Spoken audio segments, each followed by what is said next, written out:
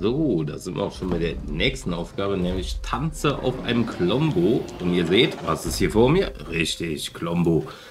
Es gibt ja in dem Sinne keinen festen Standort, wo die sich so befinden, aber ich behaupte, in dem Standort, also in dem Bereich hier, findet ihr immer einen. Also, ich habe jetzt hier einen gefunden. Dann ganz entspannt, wir probieren mal gerade was anderes aus, aber ich glaube, der macht uns wieder alles kaputt.